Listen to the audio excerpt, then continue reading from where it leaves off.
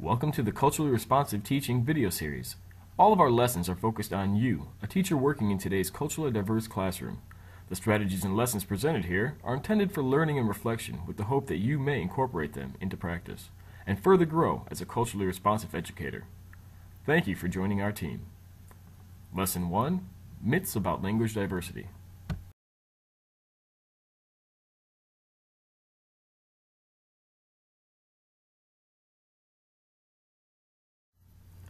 This Myths About Language Diversity lesson has been designed with two videos and several guiding questions to help you reflect on your current understanding of language diversity in the classroom.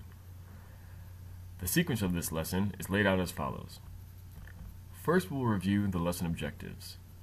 Next, we'll review the guiding questions that will be used throughout the lesson. You'll then be prompted to watch a language diversity scenario where a common myth about language diversity will be highlighted. Using the guiding questions, you'll then reflect on the myth presented. You'll then be prompted to watch a second scenario demonstrating a strategy promoting language diversity. Using the guiding questions, you'll then reflect on strategies for language diversity. You'll then complete the lesson by reviewing the key findings and takeaways during a short true or false quiz. The learning objectives for this course include View, understand, and reflect on the complexity and necessity of language diversity in educating culturally di different students. View, understand, reflect on the implied myths of language associated with standard English. View, understand, and reflect on strategies for teaching student understanding of codes and discourse. Interpret and reflect on how multiple variations of standard English can be used as strength-based complementary tools for teaching culturally diverse students. Before proceeding with the lesson, there are some key guiding questions we'd like you to consider. Have you ever known someone to speak a dialect of English that differs from the standard or academic English used by mainstream America? In what ways does it affect their life, both academically and personally? Do you view students who speak a version of other than standard English differently than those that do? America is an enormous landmass comprised of thousands of different cultures and ethnicities.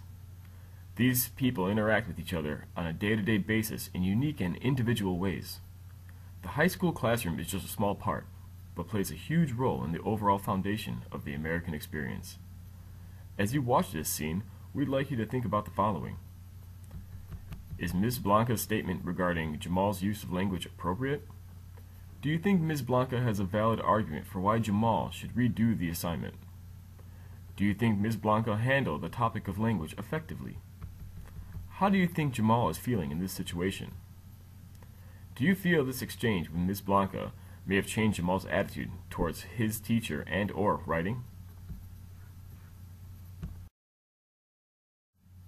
In this scene, Ms. Blanca, a veteran teacher, holds Jamal after class to discuss the work he had handed in for the previous day's assignment. The ninth grade English students were asked to keep personal journals while they read the novel The Lord of the Flies, and reflect on each assigned reading in the book. As you watch this scene, please consider the provided guiding questions. At the bottom of your screen, we've included a reflection box so you can input your thoughts as they come to you. Once you've finished watching the video, please take a moment to reflect on what you saw. You don't need to answer any of the guiding questions here. Just reflect on what you've seen in the video. You'll have an opportunity to take a closer look at the guiding questions in the next part of the lesson. When you've finished reflecting on the video, click the Submit button to continue. Okay class, don't forget to complete tonight's journal entries on Chapter 4. Jamal, could you please stay back for a minute? I'd like to speak to you regarding yesterday's personal journal assignment. Jamal, I'm afraid I can't accept your journal assignment from yesterday but I am giving you the opportunity to redo it using proper English, since it was written so poorly, otherwise you are going to receive an F. Frankly, I'm afraid that if you don't begin working on speaking and writing correctly, you will never learn. So please redo yesterday's assignment, as well as completing tonight's journal assignment for tomorrow. And remember to pay close attention to proper English form and structure. Do you have any questions? Yeah. What exactly is proper English?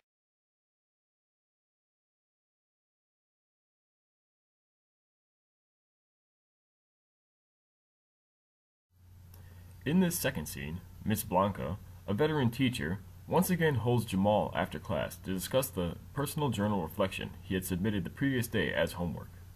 As you watch this scene, please consider the provided guiding questions. At the bottom of the screen, we've included a reflection box so you can input your thoughts as they come to you. Once you've finished watching the video, please take a moment to reflect on what you saw. Please take a look at the guiding questions and reflect on what you've seen in the video. How has the conversation changed the second time around? What do you anticipate the results of this different exchange will be? When you finish reflecting on the video, click the Submit button to continue. Okay class, don't forget to complete tonight's journal entries on chapter 4. Jamal, could you please stay back for a minute? I'd like to speak to you regarding yesterday's personal journal assignment. Hi Jamal, I just want to quickly chat with you about yesterday's journal assignment. I noticed you chose an informal conversational style. Are you familiar with the other forms of writing English for specific situations? While there's no such thing as proper English, it's a good idea to know which situations call for which different form. Frankly, I'd be happier that you were comfortable switching between the different situational language styles than just speaking and writing standard English.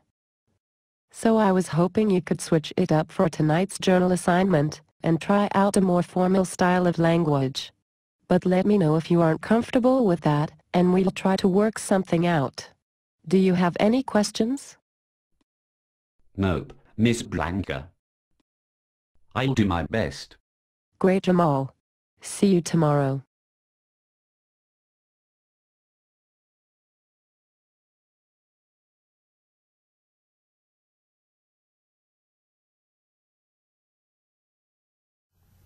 We'd now like to conclude the Myths About Language Diversity lesson with a brief true or false quiz, which will test your understanding about language diversity in a culturally responsive classroom. Don't worry, this is a self-assessed activity and you aren't being graded. The aim of the Culturally Responsive Teaching video series is to expose you, the teacher, to situations educators actively participate in each day and guide you in your growth as a culturally responsive teacher. Please answer the following true or false questions. 1. Applied English has many different variations, and the school version is only one of them. 2. It is better to determine if a particular variety of language is appropriate for given situations, purposes, and audiences, instead of saying it is right or wrong. 3. A communication style that may be generally perceived as non-standard can be just as appropriate as one that is considered to be standard, depending on the demands of the particular communicative situation. 4. Rather than judging linguistic divergence as error, we should orientate to it as an exploration of choices and possibilities. If you answered true for all of the above questions, congrats! You've just moved further along the path towards becoming a culturally responsive teacher. If you missed a question, please reflect on why you may have missed it, and go back and expand on what you missed. Thank you for choosing the Culturally Responsive Teaching video series.